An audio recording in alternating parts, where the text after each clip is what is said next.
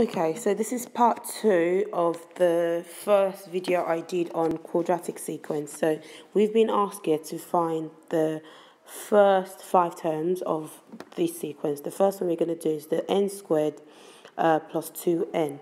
So if, if I write that out, it'll be, I'll write out again, it's n squared plus 2n. So to get the first term, we would replace n with 1. So instead of saying n squared, we'd say 1 squared plus, and we'll replace the other n with 1 as well.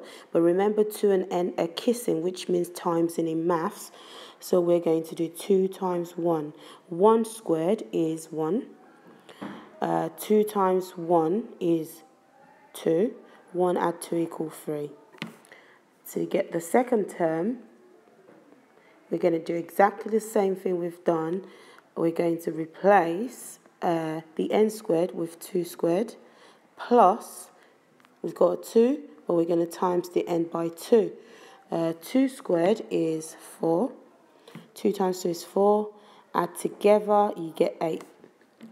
So the third term, we're going, we're going to replace n with 3.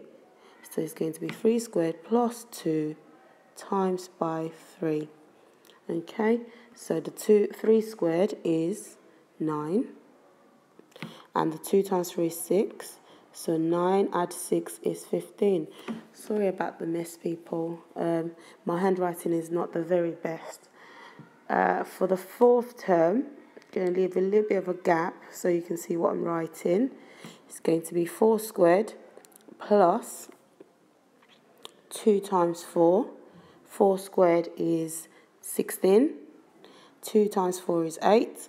16 plus 8 is 24. So for the final term, which is the fifth term, we've been asked to find here, we're going to replace n with 5. So it's 5 squared plus 2 times 5. 5 squared is 25. Uh, and 2 times 5 is 10 so it's 35. So the first five terms of this quadratic sequence are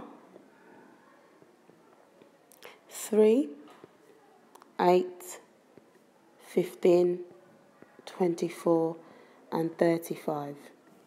Okay, you might want to try question number 5 by yourself, but the first five terms of question 5, which says 2n squared minus 3 would be, I'm just going to try and quickly work it out. Um, 1 squared is 1, 2 times 1 is 2, 2 minus 3 is minus 1. So the next one, 2 squared is 4, 4 times 2 is 8, 8 take away 3 is 5, 3 squared is 9 times 2, 18, 18 take away 3 is 15. 4 squared is 16, double 16 is 32. 32 take away 3 is 29. And the final one, 5 squared, is 25. Double 25, which is 50. Take away 3, which is 47.